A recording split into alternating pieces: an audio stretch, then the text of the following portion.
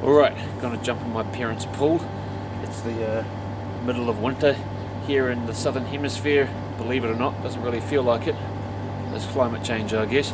Um, but their pool's still going to be pretty cold. I was just talking to them, and apparently this pool is 40 or 50 years old. So it was built in the either the 70s or 80s. So not bad for an old pool, huh?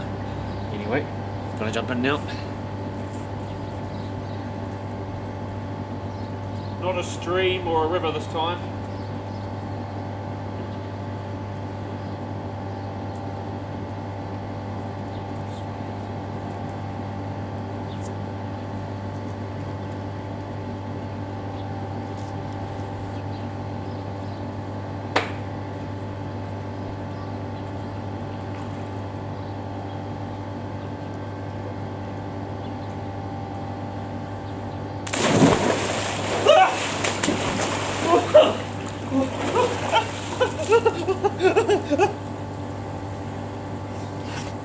It's very, it's very uh, chloriny.